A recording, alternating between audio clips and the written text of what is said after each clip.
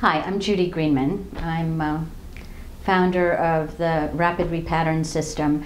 And my work is about getting people out of their head into their body so that they can really connect with their life purpose. And what I found here with Michele is she was helping people really manage their head but in a such a authentic, uh, grounded way that um, for me personally, she really helped me embody and own the words that resonate for the work I do, which is ease, choice, and connection.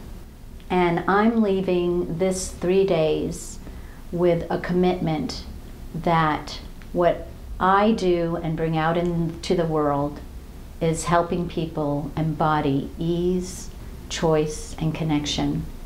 Thank you, Michele, for relieving me of the agony and helping me connect to my heart and to my life's work.